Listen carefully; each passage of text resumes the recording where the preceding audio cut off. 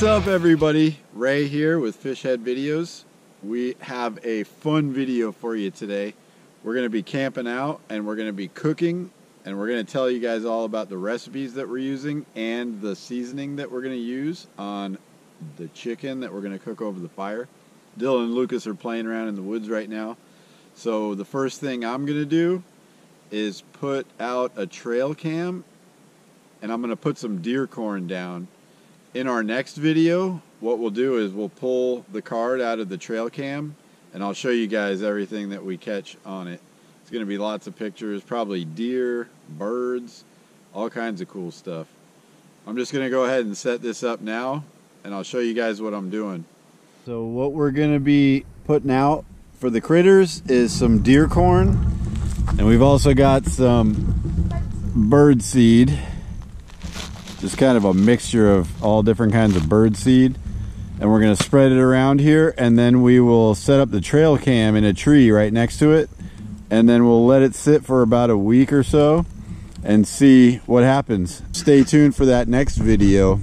First thing is the bird seed. I'm just going to go ahead and throw it all over the place right over here. Just spread it around. Lots of bird seed everywhere. Now I'm going to do the deer corn, but I'm going to put it in a few piles, and I think that should get some really good pictures on this trail cam.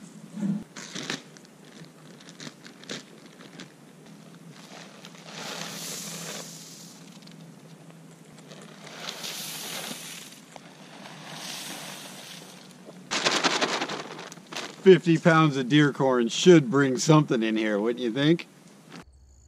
That's a lot of deer corn. Kind of made a row of the corn. It goes down this way right along the edge of the woods here. It looks pretty good. I think somebody is going to be hungry and want to come eat this. Are you hungry? You're already eating? Woo! I don't know about you guys, but if I were a deer or some other critter, I would want to eat that.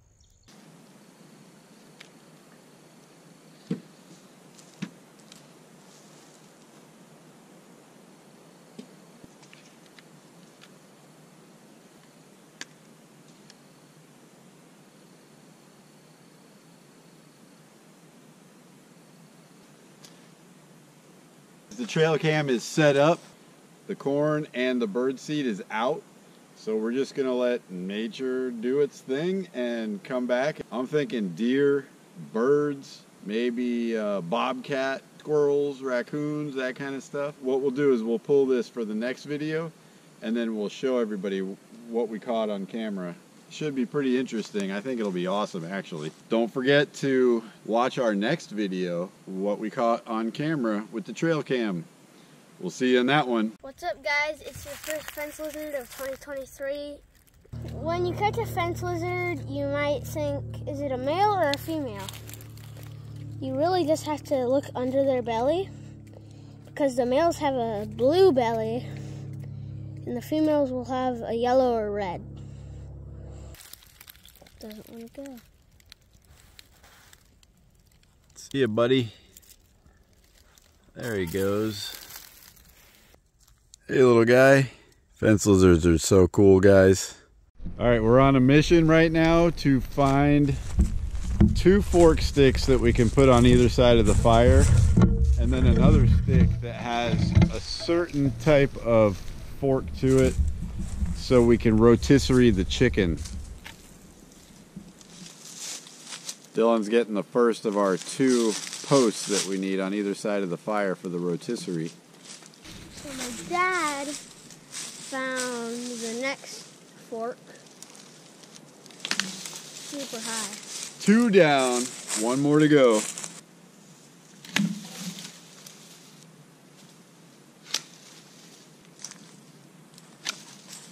For the rotisserie part that goes across the fire, I think what I'm going to do is try to use this sort of W-shaped stick. I'm going to sharpen the points of these.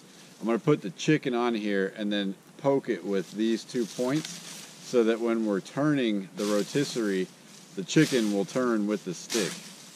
Just an idea that I had. We're going to try it out and see what happens. I think it'll work. Getting our rotisserie set up.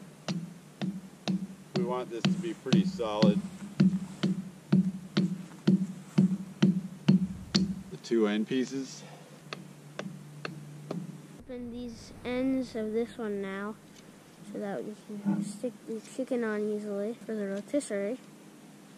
So the plan or the idea is these two points will poke into the chicken and hold it from being able to turn this way while the rotisserie is rotating like this. We want to make sure the chicken can go all the way around and not just stop turning and that way it would get burned on one side. So to make the recipe good, we need a special rotisserie and I think this is going to work out very well. Comment below if you have a better idea just out of sticks in the woods. For the recipe tonight, all of our food is going to be cooked over the fire. Except for some vegetables I think we might do on the pan over the little camp stove. And that's what we'll be cooking with tonight. I love this little camp stove. We've used this thing so many times. It's very fuel efficient too, which is surprising. But all you do is just fold out the legs, screw it onto the container, and then it's good to go. And it's just as good as a gas burner on any stove. Just checking out our creek over here. I don't see anybody moving around. It's very, very still tonight. There's no wind at all. It's just starting to get cold enough for this jacket to actually make sense. But it is beautiful out here. It's probably 50 degrees, 55 degrees maybe. It's supposed to get down a little bit colder than that tonight, but we'll be fine with our nice sleeping bags. Should I jump in the water? Should I jump in the water? I don't know if I should. That probably would be a bad idea. Not really sure what kind of mushroom this is, but there's a bunch of them out here. Comment below if you know what type of mushroom this is. Do we want to stay far away from this or is it delicious? We have no idea. We're not going to eat it right now because we don't know. But go ahead and comment below and let us know if you know what this is. So I have never seen all black mushrooms like this ever in my life. Obviously, we're not doing any mushroom cooking tonight, but what mushroom is all black? It's an interesting looking mushroom too. We found fuzzy mushrooms. Okay, so we're gonna put up our hammocks here. One.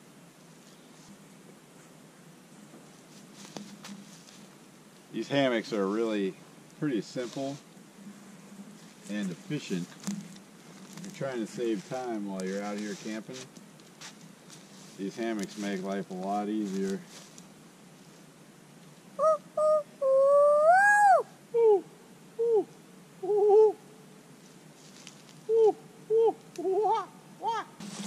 Twenty degree bags, priceless.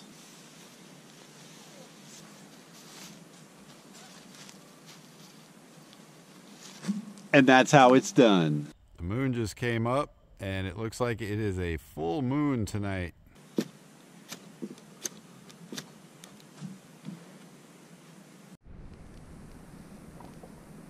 having fun watching me. You want to take some of this because I see some greens. I can hear the coyotes coming off in the distance. They're on their way.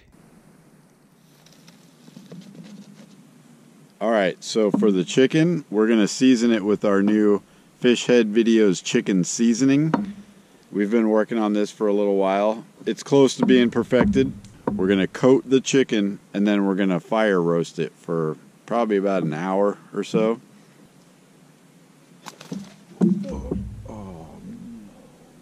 Chicken seasoning that we've been working on. We're going to go ahead and just pour this on the chicken and rub it in a little bit. Good healthy dose of it. That'll make it nice. Very, very tasty. Do some on both sides. And then we can rotisserie this over the fire. Might as well use all of it. Why not? It is very, very good. Just like our steak seasoning. You may have heard about the steak seasoning in our last video. All right, this looks good. We're gonna go ahead and put this on the fire and rotisserie it. Oh, that's perfect.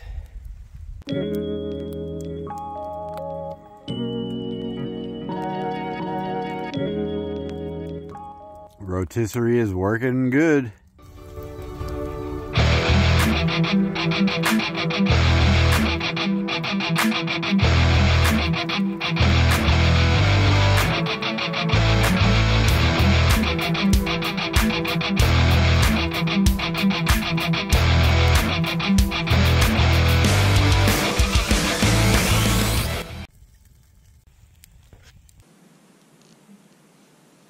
All right, so it looks like the chicken is about done.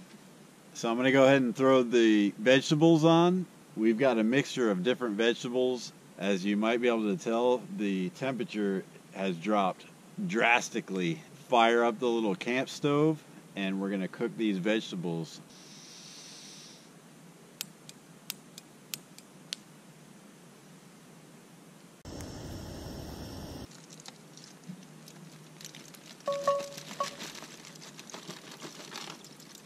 Just going to season these vegetables with salt, pepper, a little bit of garlic powder, Brussels sprouts, broccolini, green beans, and carrots. Pepper, salt, garlic powder. You can pretty much make anything with these three seasonings right here. We're also going to use it in the morning when we make our omelets. Brussels sprouts, broccolini, green beans, carrots. If you've never tried broccolini before, do it.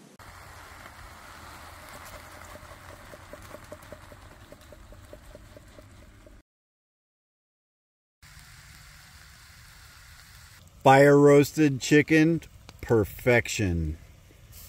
Look at that. It's to be so juicy and crispy and flavorful. Can't make that chicken in your kitchen. I am about to have a feast because I cooked for three people and now it's just one of me. Wait till you guys see this. Can you eat a whole chicken and a whole plate of vegetables? I think I can. Can you believe how amazing this chicken looks? That is a fire roasted chicken. The vegetables, can't wait to try this. Just the right amount of seasoning. It's almost like broccoli, but it doesn't have that same sharp broccoli flavor. I have not found a bad way to cook this vegetable. I'm pretty sure I just decided that broccolini is my favorite vegetable. Kind of like green beans. Can't go wrong with that. Or Brussels sprouts. I used to hate Brussels sprouts, but now they're so good. And look, cooked to perfection. Outstanding. We all know carrots are good. All right, so now it's time for the main course. I'm just going to try a piece. I want to get some skin and some meat in the same bite here so I can get the full effect. I'm trying to use these plastic silverware. I should have just pulled the pocket knife out of my pocket. It's juicy, it's crispy, and I'm sure it's going to be flavorful because we put the fish head seasoning on here.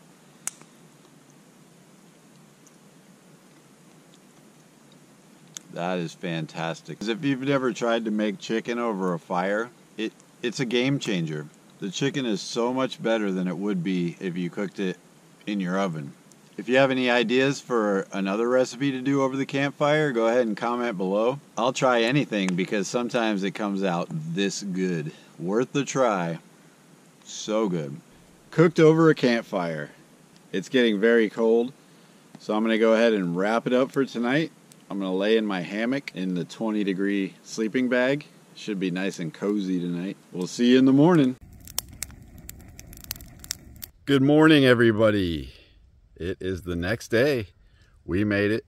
It was super comfortable. Gotta love these hammocks with the 20 degree sleeping bag in it. So now that we're up and we got the fire going again, let's make some breakfast. We're gonna make a little bit of an omelet here. We got the old spam, we got mushrooms, and we have eggs.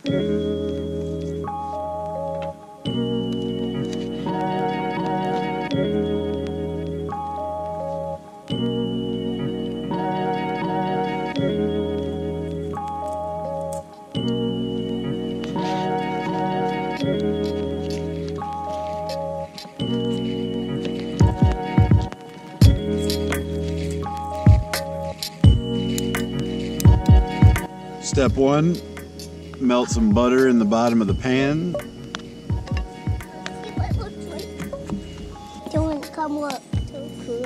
Step two, add your spam. Not so finely diced. I kind of just roughly chopped it. We let the spam cook for just a few minutes, get it a little bit of a brown before we put the mushrooms in. Might not be the healthiest thing in the world, but if you've never cooked spam in butter, you're missing out. Go ahead and add in the mushrooms now.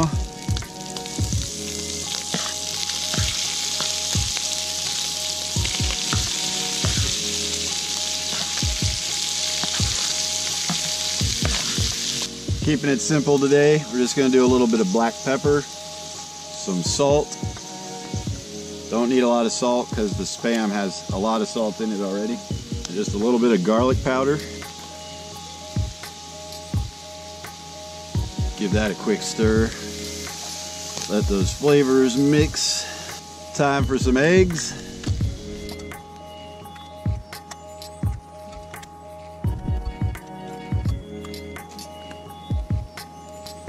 Get those eggs all mixed in there.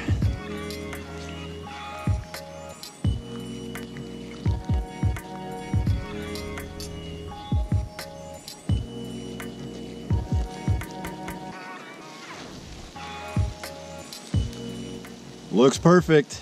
Let's eat. All right, it is done and looking amazing. Lucas is going to go ahead and try the first bite. Good. Thumbs up, good. Lucas loves it.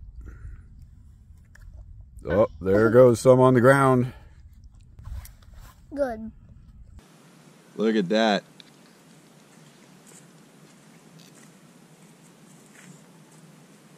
That is incredible. Sometimes you really don't have to get fancy with the seasonings, and it works out perfectly.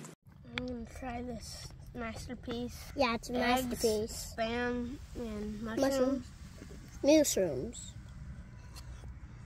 Rooms. This is really good. So we decided we had not had enough spam because well, I'd say that was a pretty fun little camping adventure. Mhm. If you enjoyed it, please like the video. Don't forget about the next video we're going to do where we're going to have the pictures from the trail cams to show everybody. So if you don't want to miss it, go ahead and subscribe to our channel. Hit that notifications bell and that way you'll know exactly when we post that video. Thank you everybody so much for watching. Hope you enjoyed it. We'll see you in the next one.